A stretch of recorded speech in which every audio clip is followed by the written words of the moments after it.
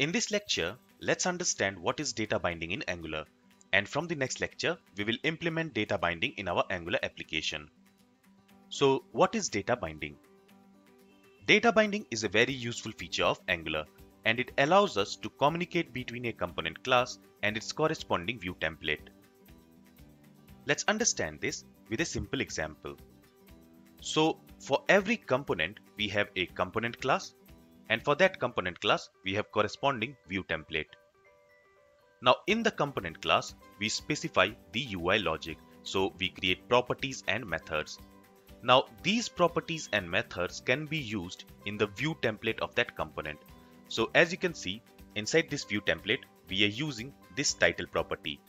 In the same way, we are using this slogan property. And we are also using this display property here. And these properties are defined in the component class as you can see here. So whenever the value of these property will change, it will reflect in the view template. That means it will also reflect in the web page.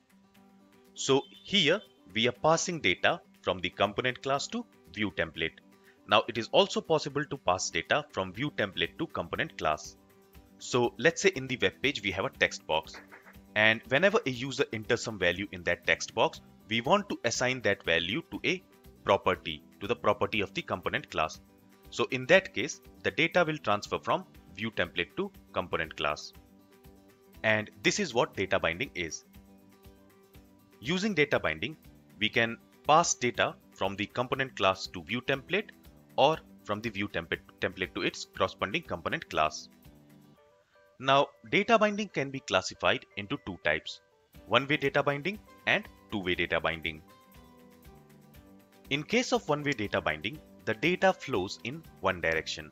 So one-way data binding is when we can access component class property in the corresponding view template.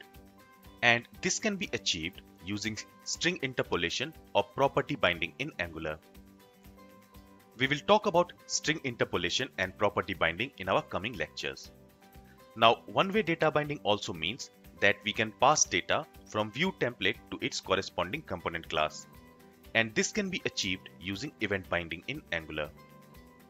And again, we are going to talk about event binding in our coming lectures. So remember that in case of one-way data binding, the data flows only in one direction. Either it will flow from component class to its corresponding view template or from the view template to its corresponding component class. Then we also have two-way data binding.